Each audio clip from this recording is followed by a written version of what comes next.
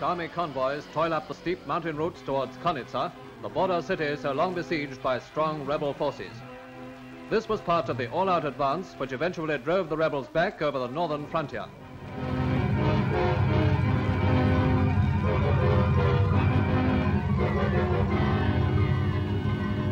A forward battalion moves up and there goes the signal for the attack. Every type of modern weapon is brought into play as the bitter warfare surges back and forth over the desolate mountain passes.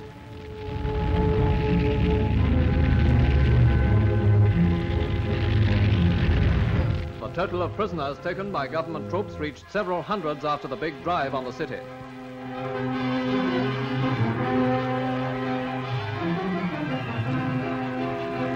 Captured weapons are shown to American representatives of the United Nations, in whose hands the answer to the Greek problem must ultimately lie.